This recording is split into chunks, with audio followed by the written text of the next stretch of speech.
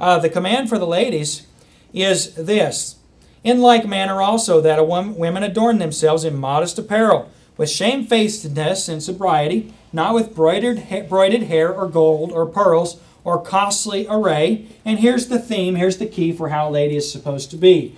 But which becometh women professing godliness with good works. And so a lady is supposed to arraign herself, not with things that draw attention to the outside, but with draw attention to the inside. And the standard here is modesty. She's supposed to be a modest person. She's not supposed to uh, be showing off the superficial, but she's supposed to be showing off that inner godliness. The same thing as a man is supposed to do. And but we find here in verse 11, and men, we need to just go ahead and sit up and pay attention to this because this is important. Verse 11 says, Let the women learn in silence with all subjection. Now, I want to tell you that when I preach this passage of Scripture, and I'm preaching to men and I'm preaching to ladies, I don't talk a lot about subjection. I don't talk about submission a lot in our church. And I'll tell you the reason why is because what mostly is understood about submission is not the Bible or what the Bible teaches about it. The Bible teaches headship in the home. It teaches that men are the leaders of the home. And it teaches that God has placed them in that position. But I just want to tell you, and I just want to uh, call on you to be a witness of this, and that is that there is not usually uh, ladies in submission in Christian homes in our churches today. And I'm not talking about those churches, I'm talking about this church. Usually it is not men that are leading in holiness in the home. It's usually not men that are striving to uh, make, or that, that are the leaders in the home. And I want to tell you that it's a real problem, and it's not a problem with the women. It's a problem with the men. And if you men are not holy, striving to live a quiet and peaceable life, and if you are not constantly in prayer, as so that you have no wrath in your life and you're not against something, and so that you are uh, not doubting, you know what the will of God is in your life. What is the will of God in the leadership of every home for a man? The will of God in leadership of your home is holiness. Holiness.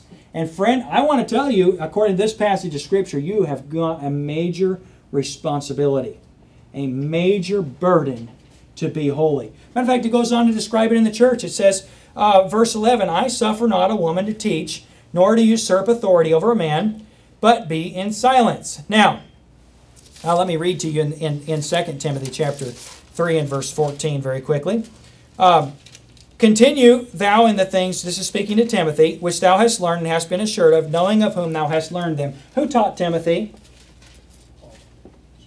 Who taught Timothy before Paul did? Look at verse 15. That from a child thou hast known the Holy Scriptures. His uh, grandmother and mother. His grandmother and his mother. Now, I would point out to you in context this morning that according to 2 Timothy 3 14 and 15, the things that Timothy had learned, he'd learned from godly ladies. And Paul is not telling Timothy that women can't teach and that they cannot train. But Paul is telling Timothy that in the church, there is a responsibility for men to be the teachers. You know why that is? That is not a put down on women. That is not against ladies uh, being able to be godly and being able to be holy. No, friend, it is instead a challenge to men. That's a challenge to men. Hey, I've been in churches that were run by women. I have. And I'll tell you, men don't like to go to those churches. You go to church and you'll find out, boy, it's all ladies there all ladies there, and when you want to do something, you better talk to this lady or that lady. And if you don't get her approval, it's not going to happen. I mean, the ladies, ladies are running the churches. Why are they running the churches? Well, because they're the ones that are faithful. They're the ones that are doing all the work. They're the ones that are praying. They're doing all the things that men are supposed to be doing. And I want to tell you, those churches are rife with dispute. They're rife with problems. And the reason for it is because men aren't what they're supposed to be. Now, I just want to point out to you a couple of things this morning. First of all, let's read on all the way through this about uh, why it is that, that men are supposed to be the leaders and the teachers in the church. First of all, Adam was first formed, then Eve, and here is a first second principle. In other words, this is, this is a listing which is different than many of the times when things are listed in order. This is an order that is emphasizing first, then second.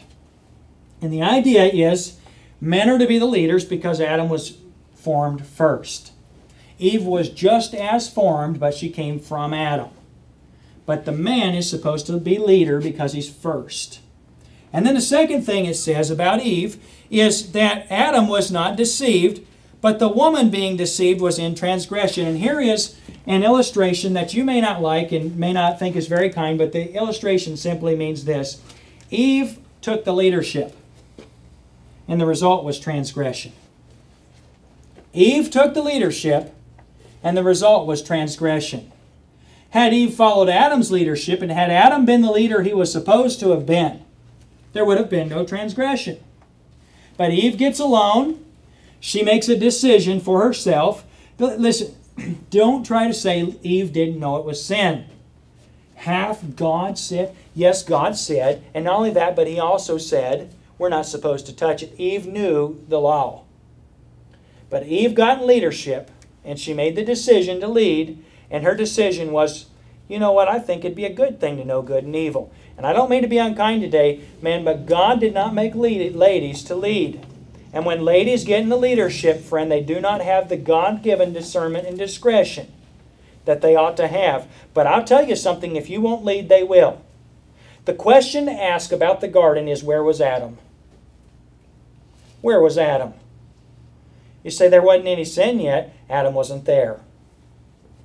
And had he been there, and had he made a decision, friend, things would have been mighty different. Now, I'm not going to get hypothetical. I, listen, God had a plan before the foundation of the world. I understand that. But the passage of Scripture here is teaching that man was not what he was supposed to be, and so a woman got in a position she should not have been placed in. And the result of it was that she led. Now, I want to say something to you, men. You better lead your home. You hear me? I want to tell you something. Here's what will happen if you let your wife lead your home.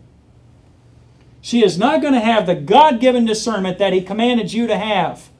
And you're going to be out busy fighting the good fight for self and playing with your toys and focusing on things that have no eternal ramification, and your wife is going to take the God given responsibility that belongs to you, and she's going to have it dropped in her lap.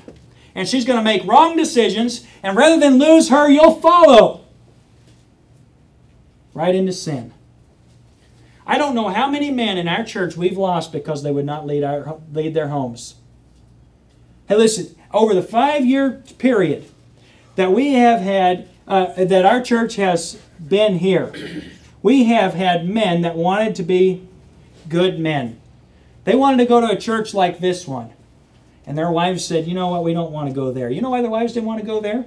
Because the men hadn't been men up to that time. And they had not led their home. And the result of it, friend, was this the ladies were having their authority threatened.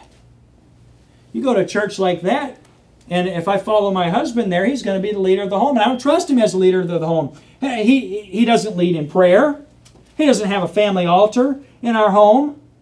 Um, he wants to all of a sudden go this direction, but he's never been that direction before. All he cares about is his little hobby and his interest and so on and so forth. And he doesn't involve us as a family. It's his thing, and he wants me to follow that. I'm going to give up everything for that. And I tell you, those ladies balk at it. And there comes a time when you kind of butt heads over it. You know what happens usually? The men follow their wives right out of church and they don't go at all. I could give you case after case after case after case. And I want to tell you something. Much as you'd like to blame those ladies, it's not their fault. It is not their fault. Because men are supposed to be holy men of God, praying everywhere, lifting up blameless hands and as that man says, I'm going to leave my home, and he contends with his wife for it, she says, There's blood on your hands. You promised and you didn't do this. You know, we made a decision. We both promised God when we got married that this was going to be, and we've never done that. And she can just point out and point out and point out and point out and point out and point out. And there's no way in the world he can lead because he's not holy. Man, if you will not be holy, you will not be able to save your family. I'm telling you, man, if you will not be what God wants you to be, you'll lose your wife. And I, she may not leave you, but you won't be able to lead her, and she won't be holy. You'll lose your children. They'll be just like you. They'll be living for the flesh. And if they grace the doors of the church, friend, it will not mean that they're lifting up holy hands. I want to just mention a few reasons that I think that ladies don't lead. First of all, I, I think that uh, ladies don't follow our leadership as men because we're not holy in an unnatural way. We need to be holy in an unnatural way. Listen, when she finds out that you love the Lord and that your relationship with the Lord is real, how is she going to do that? Let's get practical. Let's get. Oh, we're over on time. Let's get nuts and bolts on this before we finish this morning. Men, if I had to ask you to raise your hand, how many of you this week had a family altar in which you acted as priest in your home? And you sat your wife down and you taught her what you were learning in the scripture on a daily basis. If I had to ask you that question, I'm afraid that we'd be embarrassed. And if my wife next door were to ask the ladies how many, many of them led a family altar, you'd probably be more even even further embarrassed. It's your responsibility to teach in your home, and it is not that your ladies cannot be godly ladies, like uh, like Timothy's mother and grandmother. But friend, it's your job to teach your family.